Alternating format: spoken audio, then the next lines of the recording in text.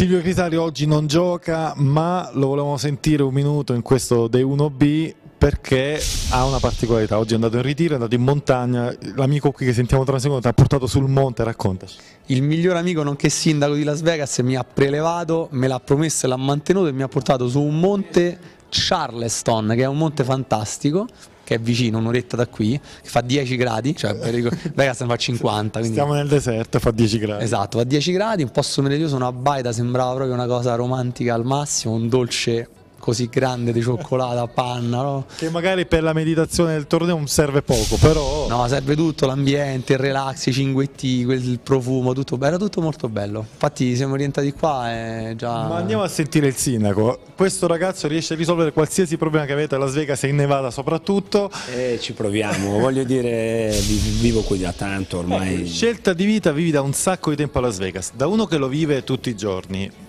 è vero che insomma rimane la, la Disneyland per gli adulti? Sì, c'è solo un posto in cui vivrei al mondo domani, se potessi, economicamente troppo costoso.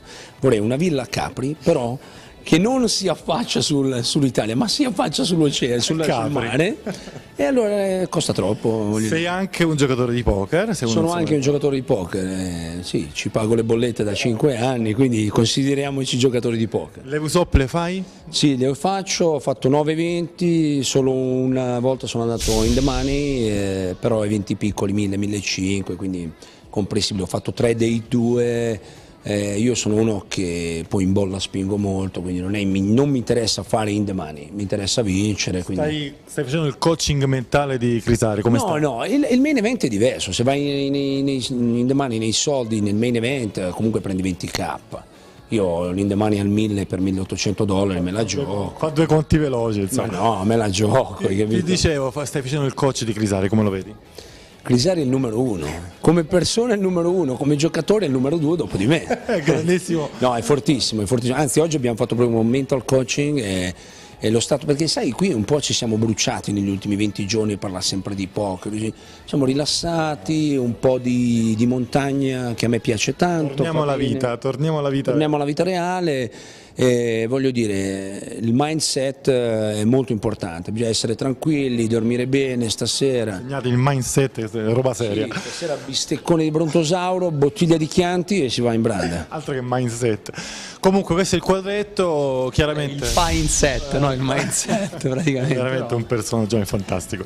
Io mi faccio il tatuaggio col suo nome e questa, questa è la banda che abbiamo, domani raccontiamo il, il torneo del ragazzo, seguiamo anche l'amico per la strada di Las Vegas. Guarda, se io arrivo al dinner break è un miracolo perché proprio non ho voglia proprio, no. Ecco, Cercherò di impegnarmi, però ci sono dei colpi che vanno giocati. Eh, io non fodo mai perché se fodi poi vince, devi, devi, devi Ragazzi che siete a casa segnatevi anche questo, se foldi non puoi vincere. Questo è tutto, tutti ci insegnano a foldare. Cioè, tu nel dubbio butta tutto dentro, poi te alzi e dici al dealer che abbiamo fatto? Se lui te le dà tutte vuol dire che prosegui, giusto? Lo spirito è quello giusto, buon uso per tutti.